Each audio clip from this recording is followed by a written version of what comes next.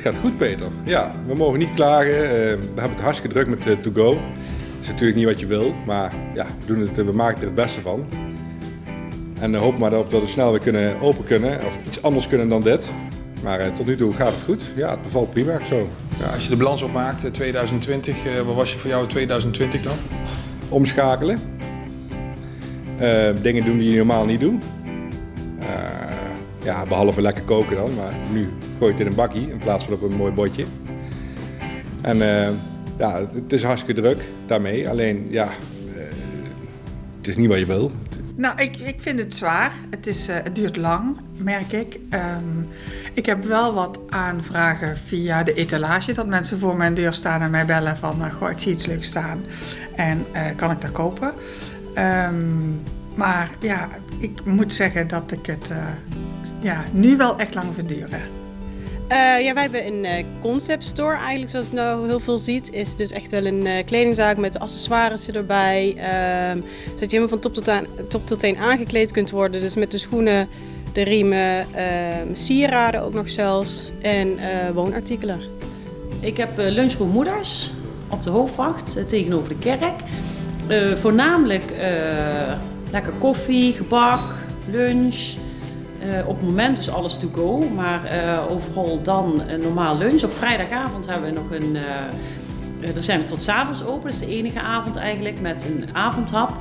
En ook nu met to go hebben we ook alleen op vrijdagavond dus de avondhap met wat extra gerechten.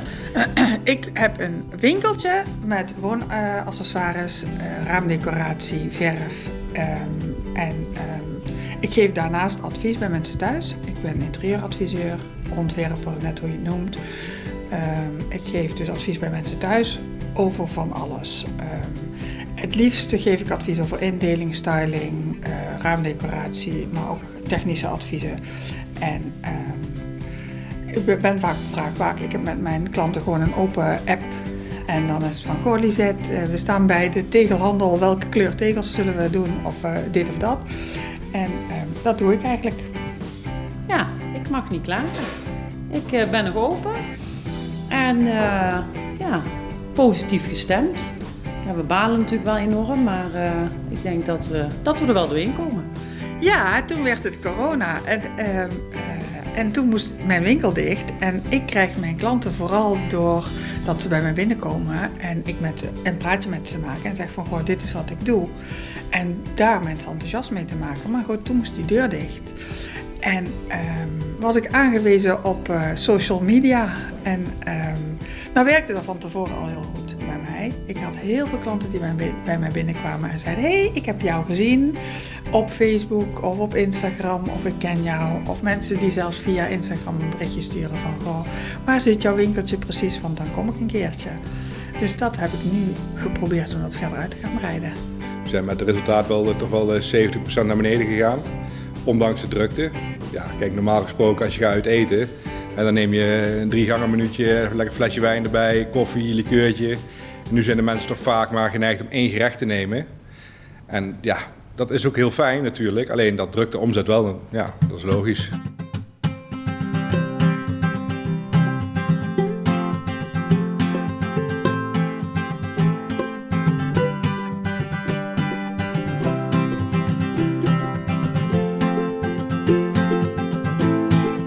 Maar goed, uh, we blijven positief en uh, we gaan ervoor. En uh, we geven de moed niet op.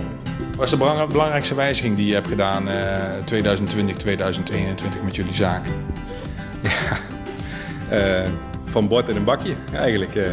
nee, ja, weet je, je mist alles. Je mist eigenlijk het meeste eigenlijk, je mist het contact met de gasten. De mensen komen nu iets afhalen en die zijn met twee, drie minuutjes zijn ze weer weg. Je vraagt hoe het gaat, dus dat, dat mis je wel heel erg, contact met de gasten. En dat, uh, ja, dat is eigenlijk wel de grootste verandering van, uh, van, de, van, deze tijd nu. Ja. Heb je daar iets mee gedaan? Heb je iets bedacht uh, om toch dat contact vast te houden? Nou ja, weet je, heel veel vaste gasten die hebben, die hebben onze privé-nummers. En die, als ze bestellen, dan of ze bellen privé of ze appen privé. Dus dan heb je er ook wel weer gesprekjes mee.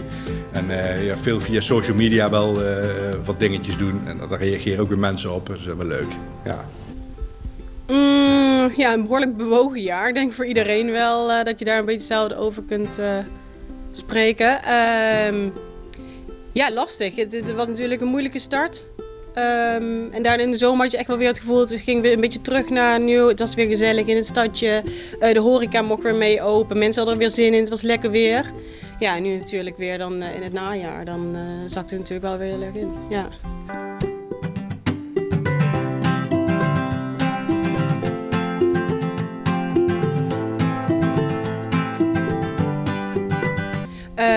Onze alternatieven waren eigenlijk gewoon dat mensen uh, met ons samen contact op konden nemen. Via WhatsApp, uh, videobellen, alle mogelijke sociale kanalen zal ik maar zeggen. En dan ehm, zorgden wij dat de spullen bij hun terechtkwamen, konden ze pas en achteraf haalden we het op. Of we stuurden een betaalverzoekje. Dus we lieten ook echt wel veel vertrouwen bij de klant liggen. En ehm, ja, zo samen hebben we het echt wel moeten doen. Zonder die klant ook had je het niet ja, kunnen doen. En dat was eigenlijk een beetje onze alternatieve ja, verkoopmanier, zal ik maar zeggen. Ja, ik ben voordat ik begon met mijn winkel, ben ik actief uh, geworden op Instagram. En uh, Instagram werkt met algoritme, dus door heel actief te zijn op je account word je meer gezien. Uh, toen, ik heb dus in korte tijd heel veel volgers erbij gekregen, door dus heel actief te zijn. En daardoor ben ik het algoritme van Instagram gaan snappen. En dat heb ik nu gebruikt door, uh, om uh, meer bekendheid te krijgen. En niet alleen voor mezelf, maar ook voor mijn collega interieurwinkels. Beetje een raar jaar 2020 voor je, denk ik. Ja, heel raar. Ja, ik, uh, ik probeer hem eigenlijk zo snel mogelijk te pas, pas even achter me te laten. En om vervolgens uh, vooruit te kijken vooral. Ik ben wel van vooruitkijken. Ik wil niet achterom kijken. Nee. Dus ik denk dat dat wel heel positief is. Dus probeer daar vooral. Uh, ik, ga, ik ben al richting april en daar hopelijk open te kunnen. Dus ja, hopelijk. Ja, wel spannend, maar kunnen we ervoor gaan.